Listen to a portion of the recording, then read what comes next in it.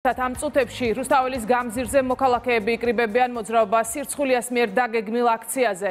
გამოჩნდნენ პოლიტიკოსები ოპოზიციის სამომავლო გეგმების შესახებ. ცოტა ხანში უნდა გახდეს ცნობილი მაკა აბულაძე გვერდდება აქციიდან პირდაპირ ეთერში.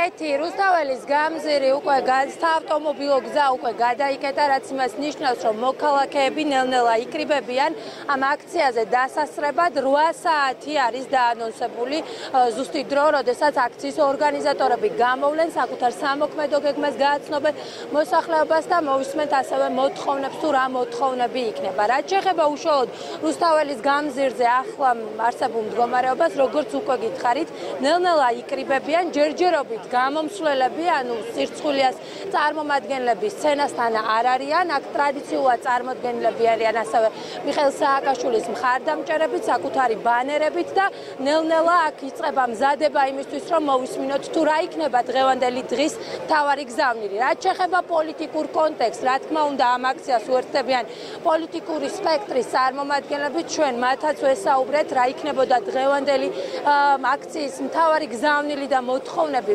კითხეთ მათ, თუმცა მათ თქვეს, რომ ამ მოთხოვნებს მხოლოდ გააჟღერებენ აქციის ორგანიზატორები, კონკრეტულად კი სირცხულიას წარმომადგენლები, მათ არის სურვეს კონკრეტულ სამოქმედო გეგმაზე საუბარი და გვითხრეს მხოლოდ ის, რომ ისინი როგორც რიგითი მოქალაქეები არიან წარმოდგენილები აქ. რაც შეეხება კიდევ ერთ კითხვას, ჩვენ ვიცით, რომ ევროკომისიის მიერ გამოგზავნილ რეკომენდაციებში ერთ-ერთი არის უკაცრავად ერთ-ერთი არის სწორედ დეპოლარიზაცია დღეს მთავრობის მეტაურისგანაც მოვისმინეთ რომ ღია არის მთავრობა ამ მიმართულებით და შემხედრ ნაბიჯებს ელოდება ოპოზიციისგან რაც შეეხება ოპოზიციურ სპექტს.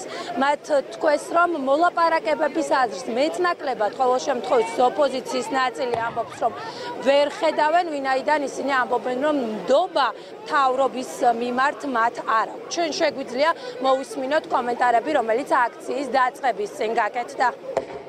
აბრაზებული ვარ იმ გადაწყვეტილებით, რომელიც მიიღო ევროკავშირმა საქართველოსთან მიმართებაში და ვთვლი, რომ სრული პასუხისგებლობა არის იმ ერთ ადამიანზე და იმ პოლიტიკურ ძალაზე, რომელსაც ეს ერთი ადამიანი მართავს. ბოლოს როცა ჩავერთე მაგათა მოლაპარაკებაში გადამაგდეს. ხელი მქონდა იმ დოკუმენტზე მოწერილი და გადამაგდეს. მეც და გადააგდეს ევროპელების და ამერიკელებიც.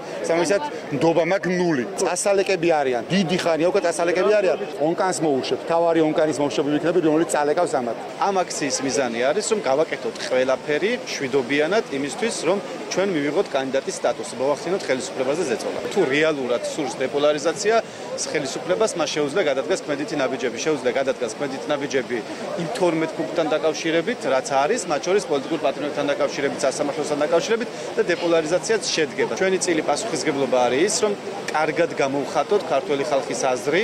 ჩვენი წილი პასუხისგებლობა არის ის, რომ ვიყოთ მშვიდობიანები და ვიყოთ ურხევები იმაში, რომ ქართული ხალხის ისტორიული ნება შესრულდეს. ერთ-ერთი პუნქტი არის დეპოლარიზაცია, რაც ნიშნავს, რომ ხელისუფლებამ უნდა იმუშაოს ოპოზიციასთან და ეს ტვირთი 100%-ით არის ხელისუფლებაზე, რომელსაც უკვე აქვს ისეთი პროექტები, რომელსაც კამათი არ მიდის, შეთანხმებული ვართ, ეს არის მაგალითად საკონსტიტუციო ცვლილებები.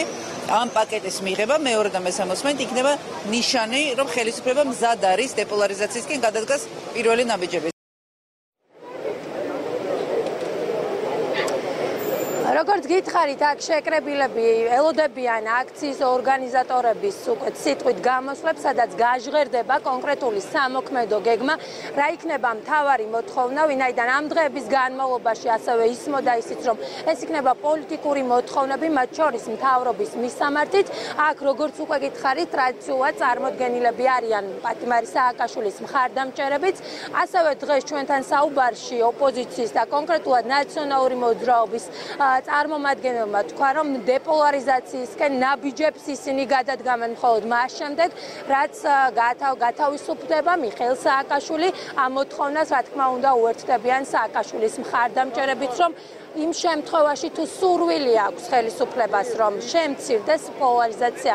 ქვეყანაში ისინი ამის მოგვარების გზას მხოლოდ სააკაშვილის გათავისუფლებაში ხედავენ. რა ხდება რუსთაველზე როგორც გითხარით საავტომობილო გზის ნაწილი გადაკეტილია. ელოდებიან მოქალაქეების შეკრებას აქციის ორგანიზატორები და მას შემდეგ რაც დაიწყება აქცია უფრო მეტი გვეცოდინება რა იქნება დღევანდელი დღის. თავარი გზავნილი იქნება ეს მხოლოდ ის გზავნილი რომ შინ ევროპისკენ თუ დაემატება ამ ყველაფერს პოლიტიკური მოთხოვნები. მადლობა პირდაპირ ეთერში რუსთაველის გამზირიდან მაკა ბულაძე გვერდებოდა.